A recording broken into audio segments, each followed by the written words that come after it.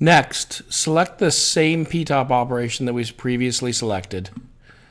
Again, go to the drilling, solid metal traditional drilling tab. Go back to general. Select the number seven drill. Now, with the number seven drill at 650 surface feet per minute, we'd be spinning at 12,000 RPM. And we're going to make this part in a mini mill, which has a top speed of 6,000 RPM. So that won't work. But let's go ahead. Uh, we'll look again at our common drill sizes, drill feeds and speeds chart here. Wrought aluminum alloys. 300 surface feet per minute is appropriate. So let's go to 300 which is just under 6,000 RPM, so we're good to go there. And again, let's look. Our drill here is about a quarter of an inch in diameter. It's 0.20 something. So we'll go ahead and use the 0.009. 0.009. 0.009. Put that in here.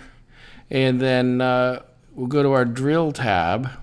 So instead of our drilling operation, we're going to select a peck drilling operation.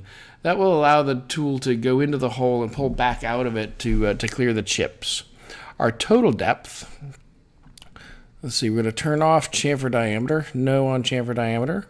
Our total depth, we want it to be through the part.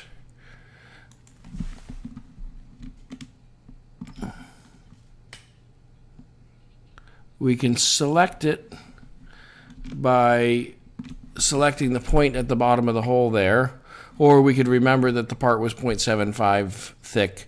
Now, tip already included, yes, means that the drill will stop, um, assuming that the bottom of the drill is flat. We want to say no, so that the bottom of the drill will end up protruding, protruding through the bottom of the part and it will clean that up.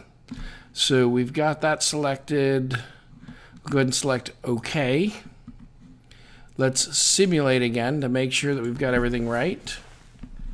And the drilled holes go all the way through. Now if you go back, hit stop, go to our drilling operation we just created. If we go back and say tip already included yes, say OK and run the simulation again, you'll see that the drill tip doesn't actually come all the way through the bottom of the part. So that's why